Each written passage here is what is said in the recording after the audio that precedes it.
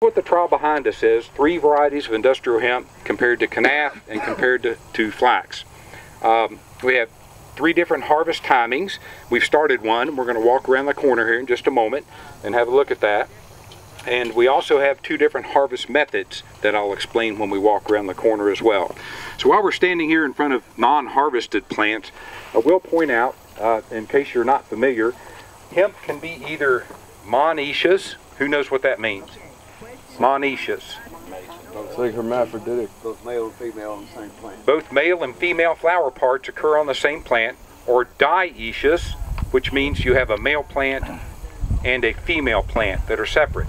Uh, the hybrid six behind me here is dioecious. So here's a male plant. Yeah, look at the pollen, and this is a female plant that's beginning to flower.